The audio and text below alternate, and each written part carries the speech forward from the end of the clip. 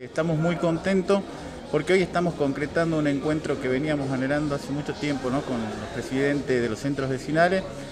Eh, un encuentro muy ameno, realmente eh, todo completamente agradecido, tanto desde el lado del municipio como ellos desde la parte institucional y charlando un poquito de lo que va a ser el año que viene también, más allá del mensaje navideño.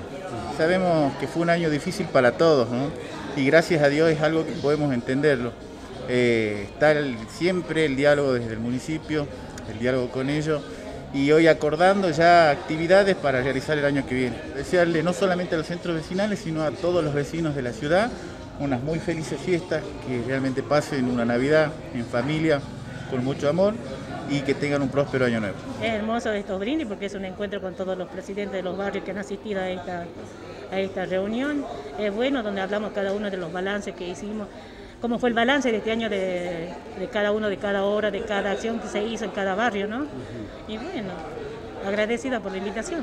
Por ejemplo, el barrio Constitución, a pesar de la pandemia, tuvo buenas obras, el tema de la red de gas, el tema de la plataforma que está haciendo recursos hídricos para el futuro puente que va a unir Constitución y Barrio Belgrano, el pago de los subsidios a los emprendedores que hicieron la formación en el año 2005, 2019, que lo depositaron ahora ya el subsidio el día 18, así que solo desearle a esos emprendedores que tengan éxito en, lo que vayan ellos a emprender, ¿no? El barrio Constitución tiene como objetivo dar fuente de trabajo a través de los emprendimientos y de los subsidios que da el Estado provincial.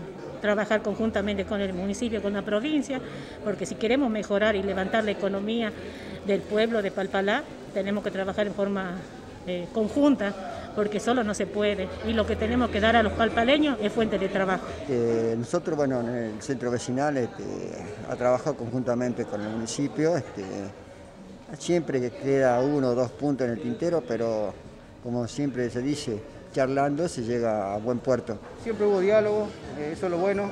en esta gestión, bueno, las puertas siempre están abiertas, más allá de que esperamos que el año que viene sea mejor eh, para todos, ¿no? no solamente para la municipalidad, para cada uno de los centros vecinales y bueno, especialmente para la gente ¿no? que, que la está padeciendo en este año 2020. Eh, ¿no? Ojalá que para todo el 2021 sea eh, el mejor.